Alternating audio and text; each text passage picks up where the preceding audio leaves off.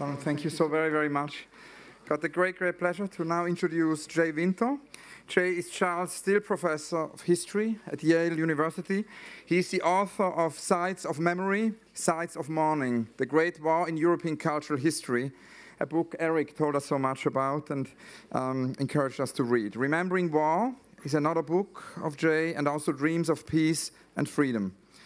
Together with Antoine Prost, he co-authored the book René Cassin et les droits de l'homme, le projet d'une génération. This book is being translated, I think, as we speak. Today, Jay will be talking about what he calls the memory boom in relation to human rights.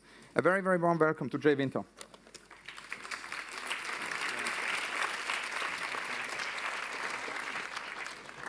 Thank you very much for that uh, kind introduction, and I too uh, want to say that it is an, an honor to be here, uh, in part uh, to uh, remember Eric Hobsbawm.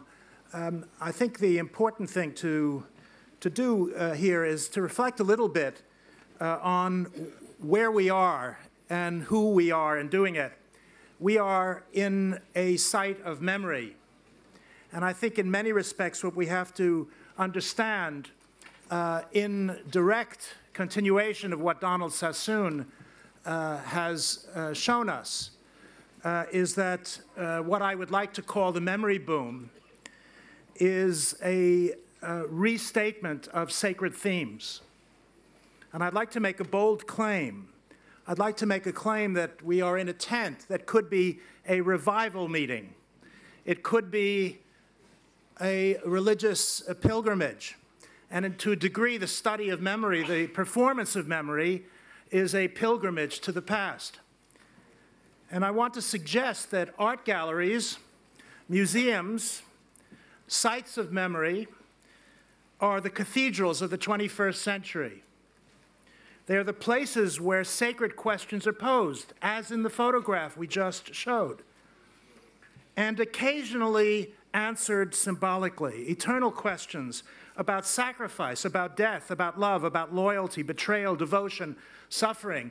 Those religious images that Donald Sassoon showed of, of Willy Brandt on his knees at the edge of the Jewish ghetto in Warsaw, on his knees in a Catholic country, uh, asking forgiveness for his nation.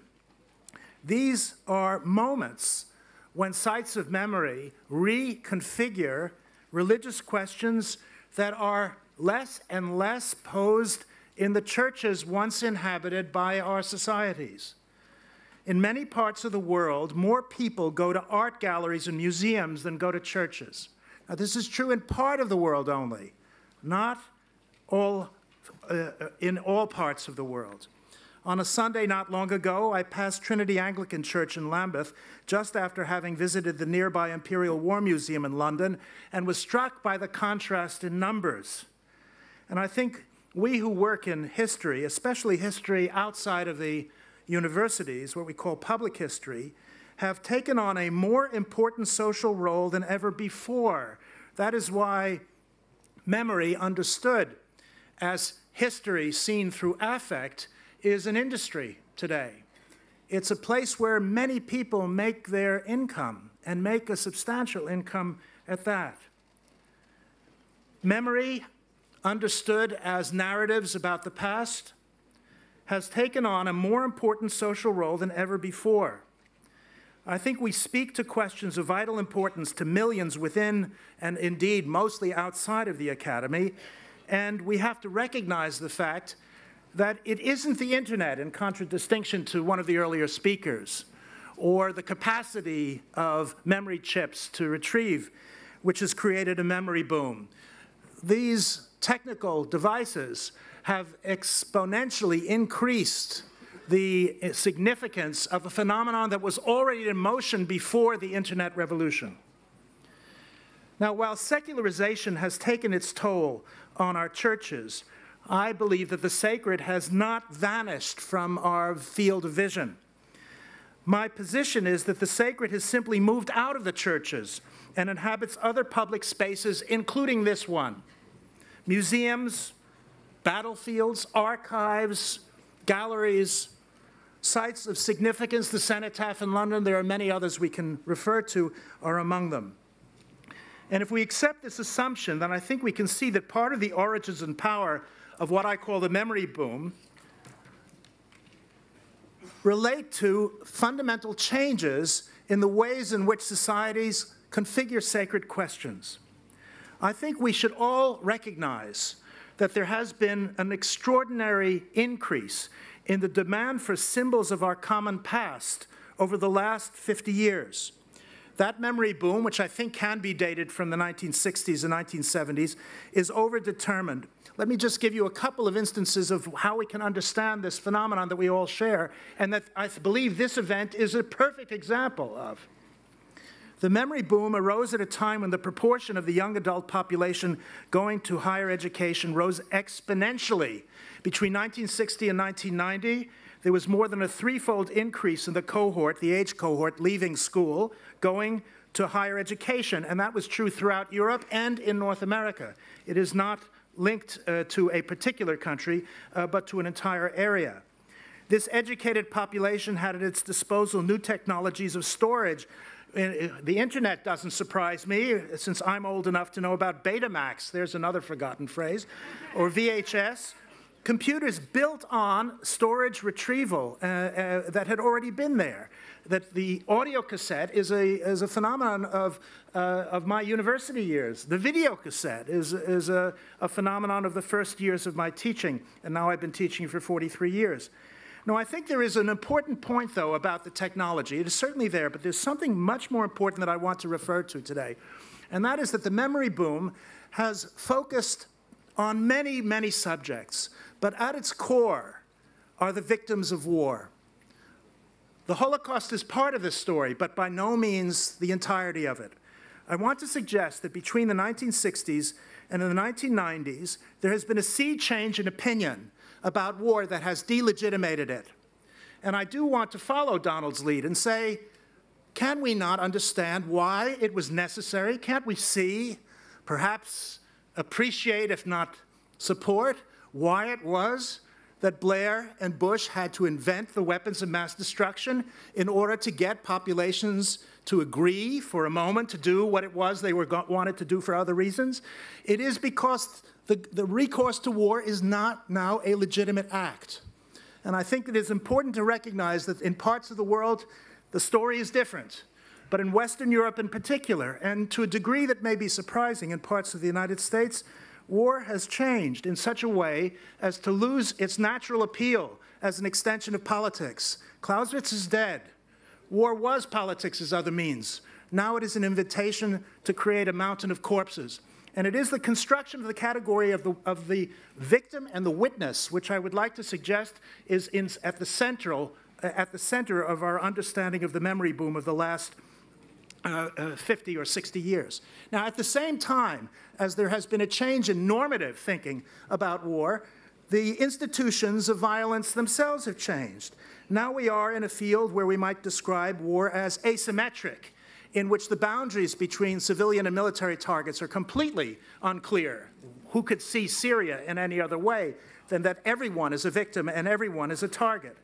And I think in many respects, this shift towards recognizing that war has victims that incorporate everyone who is engaged in it is, uh, extends to soldiers as well. The category of post-traumatic stress disorder is a part of the phenomenon of the memory boom. In 1980, it became a diagnosis, a condition with treatment available. And that meant that soldiers themselves were part of the victims of the institutions of war uh, that they, uh, they waged uh, uh, as well.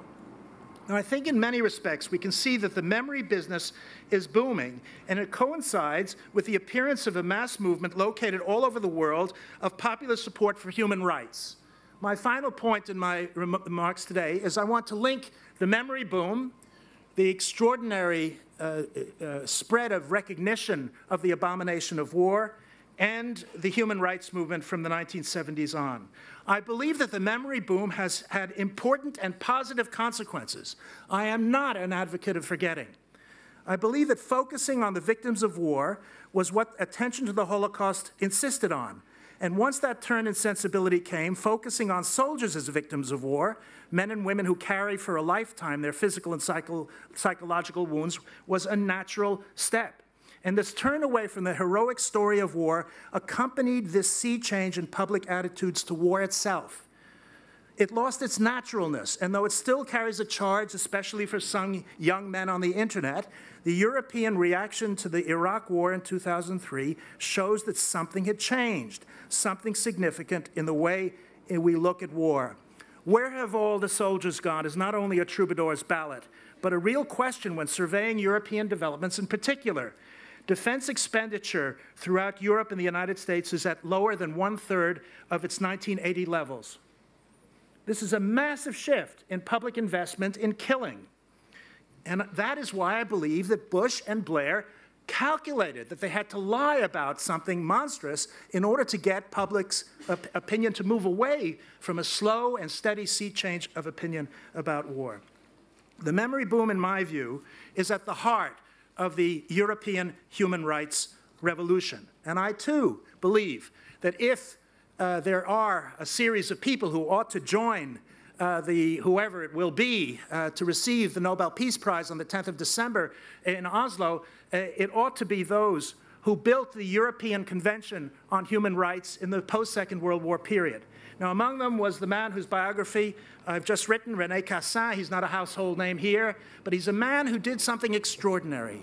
He believed that the only way in which there can be a European uh, peace is that there would be constructed a convention on human rights that put a higher law above that of national law. That is to say, states had to sacrifice some of their sovereignty in order to avoid the catastrophes of the two world wars. And that decision to do so, that decision to do so, was based upon memory. I put it to you that memory is a human right and that the very act of constructing a human rights agenda for Europe and elsewhere in the world is an act of commemoration. It's an act of stating that the only way in which the European project can deserve the Nobel Prize that it is about to receive in December is by unpacking the points of conflict that are still there. Let us not forget that Srebrenica is still a contested site. It is not possible for people to construct a memorial there because they were literally within, uh, within feet of the families of those who were involved in the crime. There are places on the continent in which peacemaking is a relatively new phenomenon. Think about this astonishing development that in Ireland there will be a celebration of the centenary of the First World War and the rising of 1916 at the same time and by people who a few years ago would have happily strangled each other. Now, I think the, the significance I want to make is that symbolic sites are the moral compasses of our contemporary social order. And in Europe, that social order has had a form, a European form that moves away from war. The fact that British politicians from, from Churchill on, Donald is absolutely right, uh, have, shall we say, an ambivalent attitude towards being part of the European um, experiment uh, should not let us uh, deny the significance of the achievement that has occurred over the last 50 years. And all I want to do is to suggest very simply is that we should understand that the construction of memory as a moral act and its development over the entirety of the European continent is a profoundly pacifist phenomenon. The experience of war is the antechamber of the European experience. It is, of course, a bumpy ride to get into some other form of politics that, that has existed over the past 150 years. But just imagine how far we've come. In 1948, when the Universal Declaration of Human Rights was signed in Paris, it was just a few feet from where Hitler, eight years earlier, had surveyed his new uh, regime to last for a thousand years. And those universal principles, principles that are not international, but universal principles of human rights, provided an, in, an image of what going beyond the boundaries of a nation state have to be. My family uh, came from Poland and Russia, and uh, the survivors are the ones with whom I grew up. Um, I am 67 now, and I'm astonished, absolutely astonished, when I go to France and I drive across to Germany the way in the United States I would go from Connecticut to Massachusetts. It's, it's a phenomenon that I believe is a product of the memory boom. There are many other, of course, interests that has driven this forward, economic interests, ideological interests. But I'd like to, uh, to say that the fundamental question of moving away from war is a moral question. And the human rights movement in this country, as well as elsewhere in the world, have taken moral questions that have, in some ways, moved out of the churches and put them into areas in which we can link remembering the violence of the past century with the construction of a better order for our children and our grandchildren. Thank you very much.